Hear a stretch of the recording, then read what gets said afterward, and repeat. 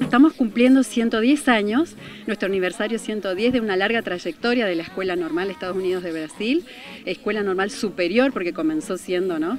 Eh, de magisterio superior, y estamos festejando, saliendo a las calles, eh, mostrando todo lo que somos como comunidad y esta larga trayectoria que tenemos. Nos convocamos en esta maratón caminata eh, bueno, además de alguna forma solidaria también, porque estamos juntando pañales y alimentos para un hogar de niños, nivel inicial, nivel primario, nivel medio y nivel superior. Así que estamos todos, toda la familia normalera. La mayoría caminamos, acompañamos a los chicos y bueno, y hay un grupo, por supuesto, más osado que se anima, que está entrenado y que va a correr la maratón. ¿Estas son todas las actividades o hay algunas más que se tienen previsto realizar?